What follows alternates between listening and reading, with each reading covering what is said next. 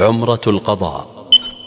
في ذي القعدة من السنة السابعة للهجرة خرج رسول الله صلى الله عليه وسلم للعمرة كما وقع في بنود صلح الحديبية وقد مضى عام كامل عليها. سميت هذه العمرة عمرة القضاء والقضية لأن رسول الله صلى الله عليه وسلم قاضى قريشا في صلح الحديبية على أداء العمرة في العام القادم.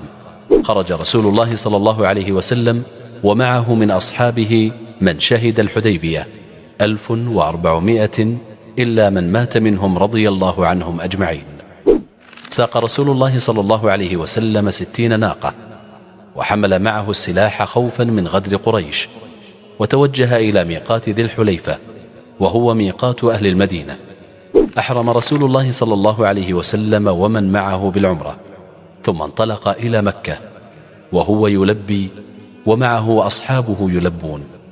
وصل رسول الله صلى الله عليه وسلم إلى مكة ودخل المسجد الحرام من باب بني شيبة بعد فراق لمكة دام سبع سنوات فكان صلى الله عليه وسلم فرحا بهذه العمرة.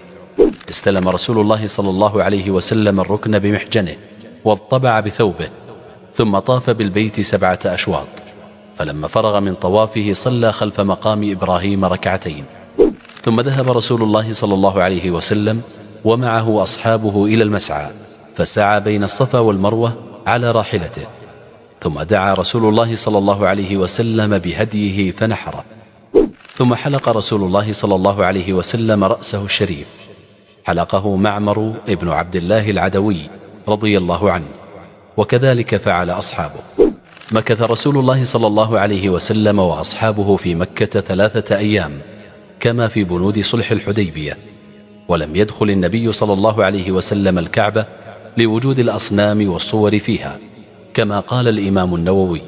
وقال الحافظ في الفتح ويحتمل أن يكون دخول البيت لم يقع في الشرط يوم صلح الحديبية فلو أراد صلى الله عليه وسلم دخوله لمنعوه وخرج رسول الله صلى الله عليه وسلم وأصحابه من مكة بعد أن أقاموا فيها ثلاثة أيام.